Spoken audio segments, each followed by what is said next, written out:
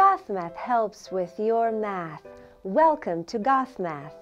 In this video, we're going to introduce a key skill called the rationalization of denominator.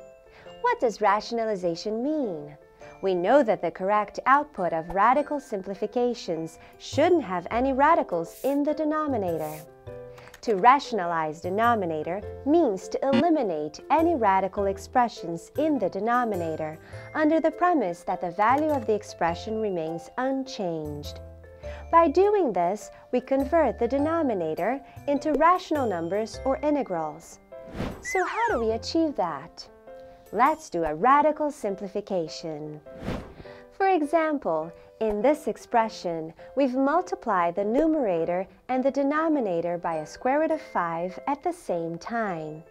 The denominator turned from irrational square root of 5 into rational number 5.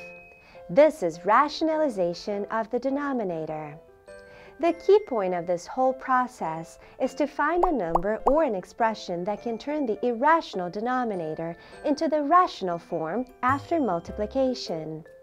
In this case, the denominator and numerator were both multiplied with the square root of 5 so that the radical sign in the denominator was eliminated. The value of the original expression is unchanged, and therefore the rationalization of denominator is completed. For a simple denominator like the square root of 5, all we have to do is to multiply the irrational number by itself. However, for an irrational expression like this one, the denominator is the difference between the square root of 5 and the square root of 3. Which multiplier should we use then? The answer is D. No matter which number we choose from, A, B, C, the denominator result from the multiplication will still be radicals, especially option C. After we square the denominator, though the square root of 5 and square root of 3 turn into integers 5 and 3, the expansion of the difference of squares contains a radical term. Are there any multiplication formulas that can result in square terms only with no radical products? Oh yeah! The formula of the difference of squares satisfies this requirement. The product contains two squares with no radical terms.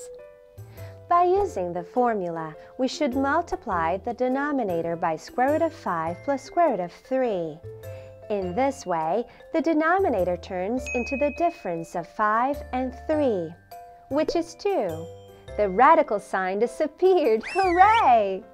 Since both the numerator and denominator contains 2, we can simplify the fraction.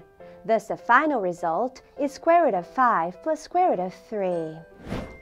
To summarize, when the denominator is the difference or sum of two radicals, there are only three steps we need to take to rationalize it. First, based on the formula of the difference of squares, we need to find the other factor of the denominator. Then, we multiply both the numerator and denominator by this factor. Finally, we simplify the fraction by canceling common factors. Let's try this question. Mm, which one is the correct answer? Options A, B, C are all wrong. The answer is D. The denominator is square root of 2 minus square root of 5. The factor in pair with the denominator is square root of 2 plus square root of 5. Multiply it with both the numerator and denominator, then calculate the new denominator. Attention! Options A, B, C were wrong due to this step. According to the formula of the difference of squares, the denominator equals the square of square root of 2 minus the square of square root of 5. 2 minus 5 is negative 3. After simplifying the fraction, we get the final answer, negative 2 times the sum of the square root of 2 and the square root of 5. Never let down your guard in any step.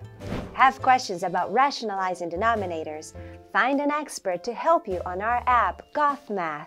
Homework solvers step by step.